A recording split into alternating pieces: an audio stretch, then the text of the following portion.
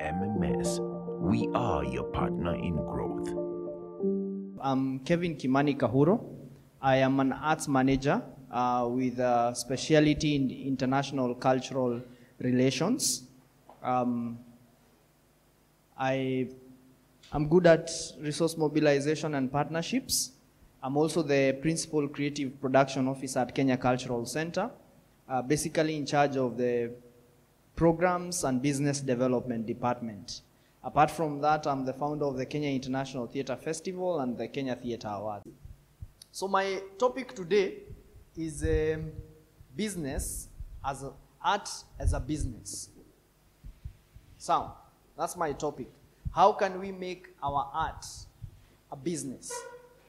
How can you make your music a business? How can you make your poetry a business? Sawa. How can you make whatever you're doing right now? How can you make it a business? And I want to start with this image on screen. What do you see?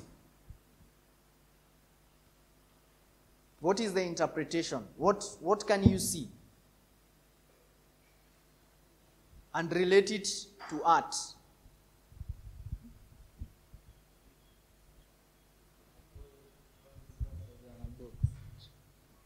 Uh-huh.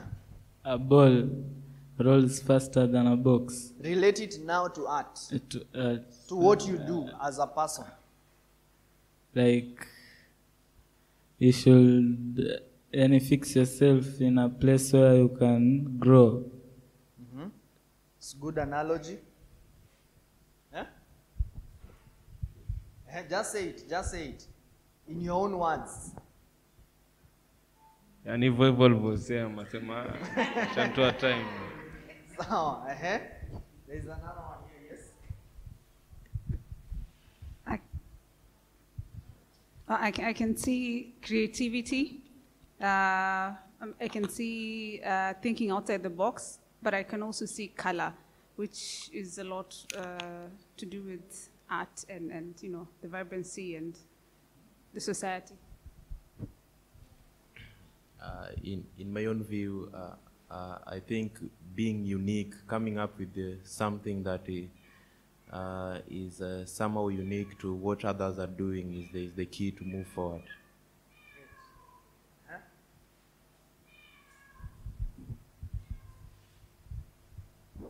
Maybe I can say we all want to go, but the strategy is what will make us go the places we want to go. Absolutely. Absolutely, yes.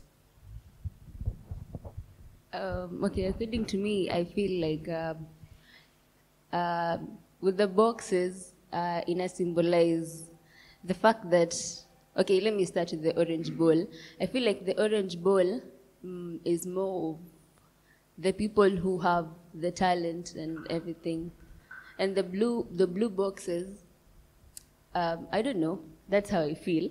Ni watu ambao wako na potential despite okay, despite all of them having people who are pushing them, the the orange one has what is yeah, what it takes. What it takes to move fast. Yeah. Huh? Any other? Great. Now, what I read from this picture is that high chances all these people at the start line had a box. All of them. High chances the guy with the orange took a lot of time before he started to make his box round. And then he came and overtook everyone.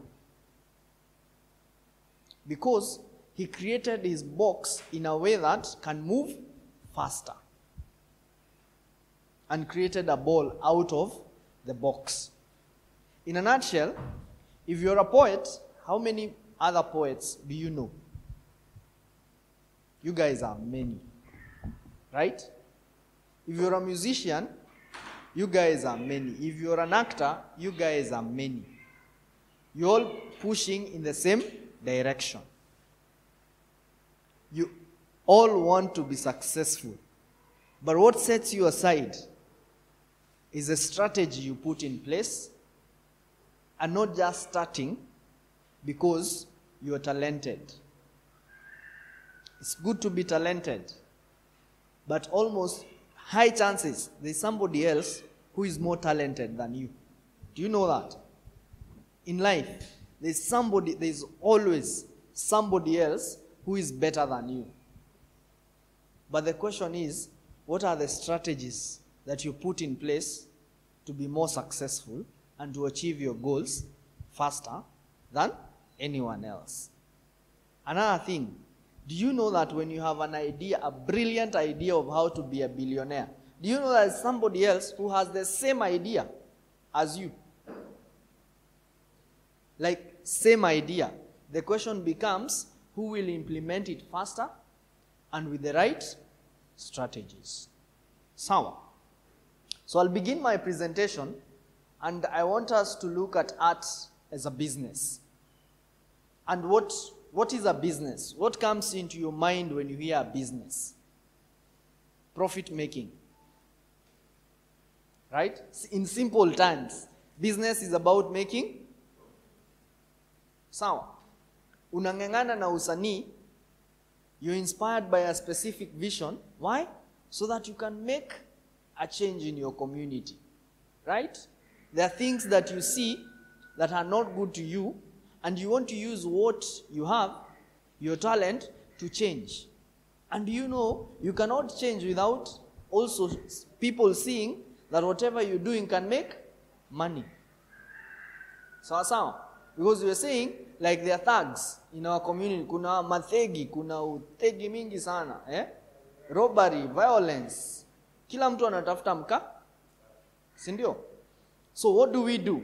And, and, in i'm saying art as a business refers to the practice of treating one's artistic work as a commercial enterprise. How can your poet and your poetry earn you money? That's the biggest question.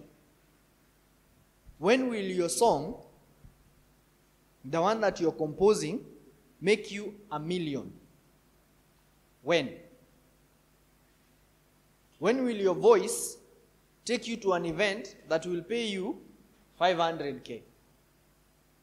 And we know people who are being paid such amounts. Sawa.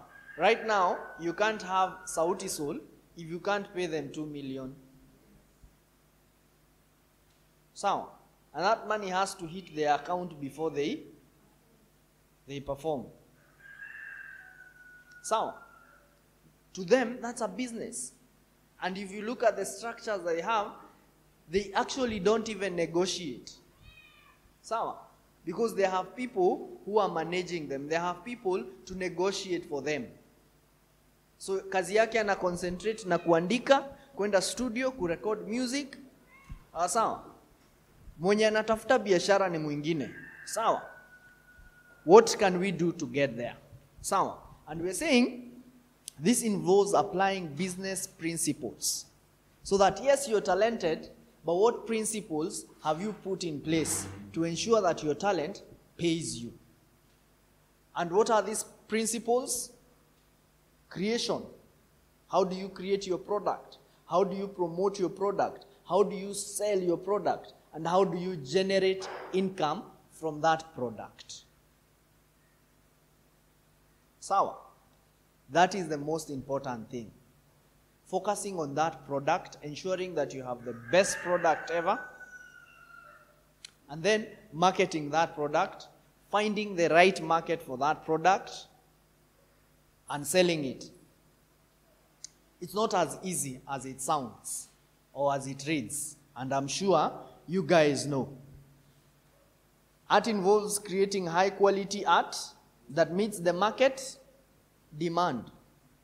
I'm sure you guys know the, the law of uh, um, demand and supply. So, for example, uh, why do we eat? Because we get hungry. That's how. So, hunger creates a need for food. Then people know you must eat, so they have businesses to sell food. So, uh, life is art. Do you know that? Everything that you consume on a daily basis is art. Everything. From the house you live in, it was designed by a designer. So, everything you wear was designed by a designer. The vehicle you use was designed by somebody. The music you listen to was written by somebody. If you listen to the story of creation, God woke up, he saw, no, no, no, it's not good. He created day and night. Eh? He created his creation. So, he saw, now I've done everything. Now let me create man. Creation. No, he saw man is bored. Let me create for him a sound. So he was in the business, he was creating. Everything you live is, is art. I've told you food is an art. So mwenye anakupikia chakula ni artist. And it's a fact, by the way. Look at it the way you prepare your song to the way that some, the, the person who is cooking prepares food. Same thing. Ukitafuta ingredients za words, anatafuta ingredients za kitunguu na vile una mix words ndio ana mix ingredients zake no it's a fact sawa and then continuously improving yourself. It is a prerequisite. Sawa why do safaricom continue to, to, to dominate market in telecommunication? Innovativeness. Product new product every now and then. They dominate they have over 70% of the market share sindio but have they slept they are continuously increasing and creating value so that even their competitors when they come with low low prices they still maintain their high prices but you still stick there. So in a nutshell i'm trying to tell you how can you ensure that your product is of value? It meets the industry demand. It is of high quality and you constantly sustain it. Forms of arts.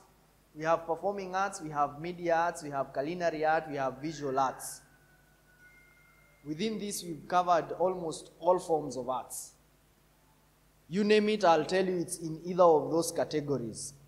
Some cut across like film cuts across between visual and media. Because of the nature in which you you see it but in the nature of which it is performed it also goes to performing arts. Because the actor who acted is a performing artist. So that is the one that is the most confusing mode uh, mode form of art. Because it has elements of performance it has elements of visual and then of course by the nature in which it is created it is in form of media and technology. Sawa? Name gaming all of that is under media animation all that. Yes that is visual arts. Yes those are visual. The stools that have water. That's visual because the nature in which i consume it is through the eye. I see it. Sawa? Anyone who is confused there? Any form of art that you feel is not covered music is performing because i perform. Napiga mistari sijui nini nini nini sindio haya sawa. We continue. What are the benefits of ensuring that your art is a business? Number one financial stability. You have finances. Because we've said the essence of any business is ensuring that you're selling you have a product. So if you maintain yourself as a business you'll definitely not want to make losses. And you won't sleep until you make profit. Professionalism. You yourself will treat yourself as a professional and people will also treat yourself you as a professional. Because there is a way you carry yourself. Control. You'll have control over your product over your art i'm sure you guys know and i'm sure you've experienced this if i have an event today i'll probably tell you i'm paying you 2000 sound Probably, I'll tell you, I'm even paying you a thousand. I'm only paying your fare. Sawa. And since you don't have control, you can't even negotiate. Utasema ni kidogo lakini ni sawa tu. Hata sikuwa na. But when you have structures and you have a good quality, you'll have control. You'll say, no, I don't perform below this much. If it is, if it is not 50k, no, no, no, no, no. So when I'm considering to include you in my show, if I don't hit your 50k, I'll call you way in hand. That's how you know you have control. I'll tell you, look, I'm budgeting for this. I don't have this much, but I want you to come, but I have this much for you. So you see, that person is already calling you to consider whether you will take A, B, C, D because of circumstances. And then growth. Of course, when you're sustainable, when you're developing the right strategies, you will grow. And then long term sustainability. Because you've said, as a business, for you to thrive as a business, you must have a strategic plan. So you'll definitely know that I need this amount of money. I'm turning 50k. Because I know in the next two weeks I'm getting 100k. If I get this 100k, is able to make me survive until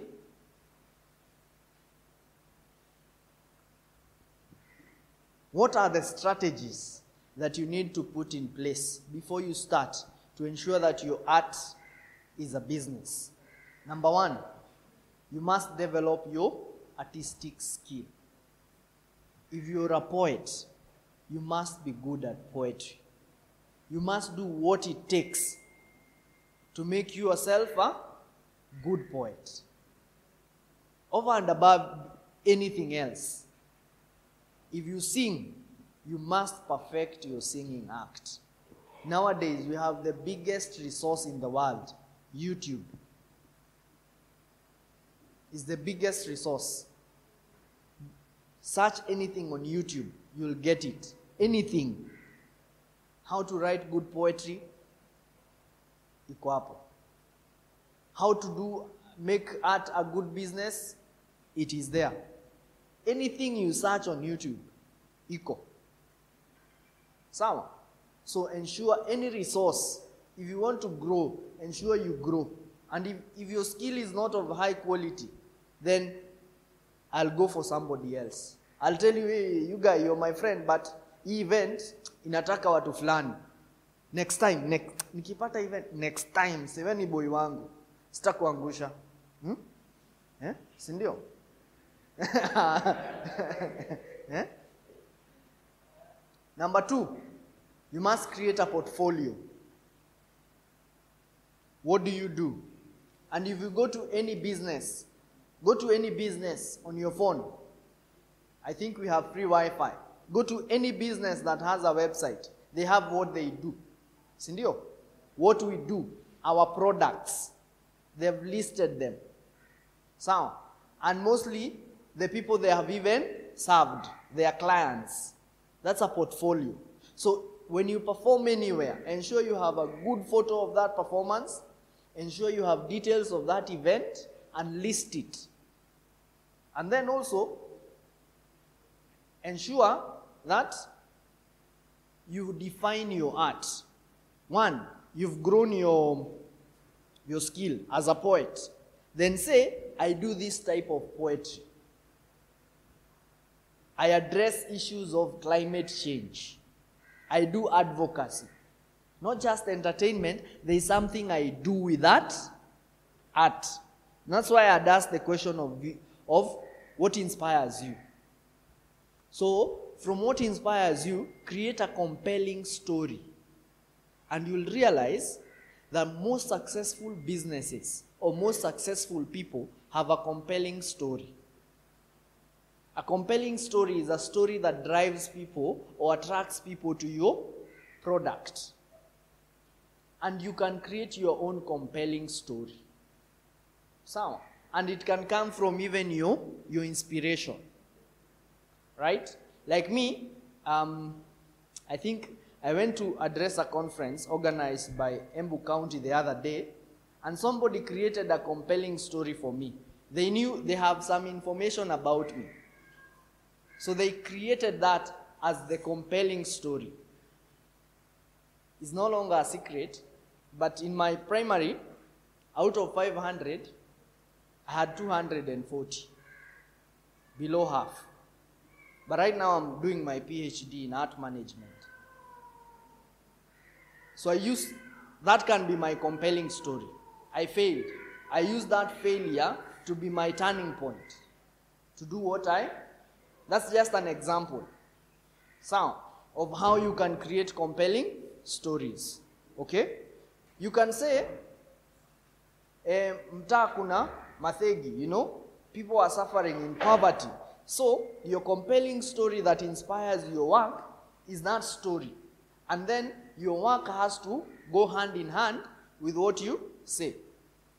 You get? So, like now, I cannot say I failed 240. For that failure to make sense, I must combine it. I'm doing my PhD. So, I'm, I've come from that failure.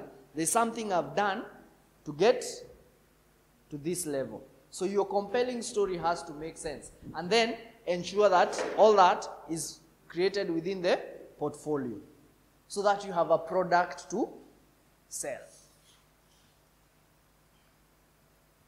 Identify your target market. This is where we go wrong as artists. This is where we go wrong. Who are we creating our work for? Who? Who? Sawa. I've said I'm um, I'm a rapper. I'm creating music, rap music. Yo yo yo yo yo baba.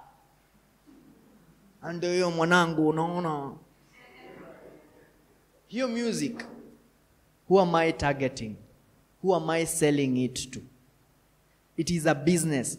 Remember, na point number one, your art is a business. With all this due respect, if you create music and give it to him, will you make business? Tuambiane ukweli, you target him as your market, utaunda pesa? Kwa nini? Juu pia yeye anajaribu kuunda muziki yake aunde pesa. So you're, you're selling that music to the wrong person. So know who am I creating this music for? Where are they?